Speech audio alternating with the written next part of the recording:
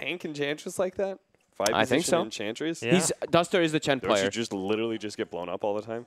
Yeah, I mean maybe that's why Mm, they're. that's the sacrifice. I think Don't that's why, give your- right? you don't even give your allies like. Uh, But you don't even give Jack.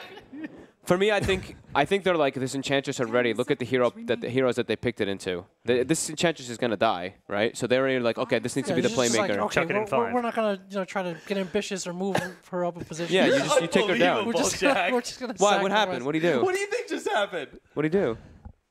I, I uh, had just uh, you know rested for a moment before we continue talking about this show. There's the troll. with Did you the- just have a mini the fi- rest? There's the troll with the final pick.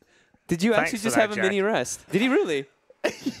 No, he didn't. Absolutely, he just did. Give a shit posting on Twitter about Naga Siren sleep. Jesus Christ. So troll. Okay. Oh.